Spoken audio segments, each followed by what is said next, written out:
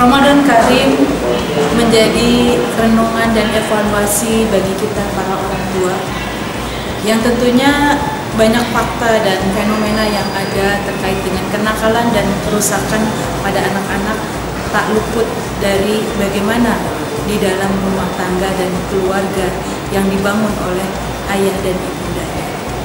Penting menjadi perhatian kita semua karena fakta rumah seperti kuburan idealnya tidak ada lagi ketika rumah sepi dari komunikasi, tidak ada ikatan batin, tidak ada kontak mata, tidak ada sentuhan.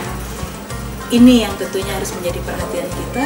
Idealnya rumah inilah yang kemudian menjadi ikatan-ikatan batin, ikatan cinta dan kasih sayang yang harus tumbuh dalam keluarga kita, menghimpun satu kekuatan dan menjadikan rumah sumber hidup dan kehidupan.